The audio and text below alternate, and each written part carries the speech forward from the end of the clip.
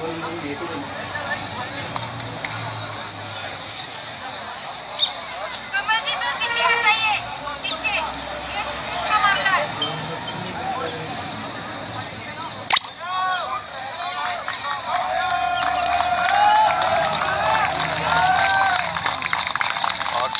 में और छात्रों की तादाद बढ़ते हुए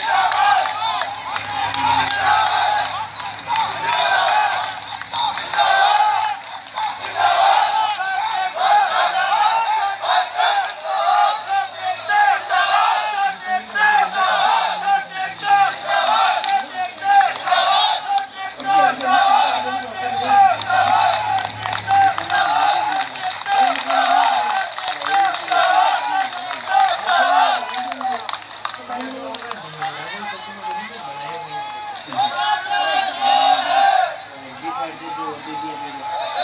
you.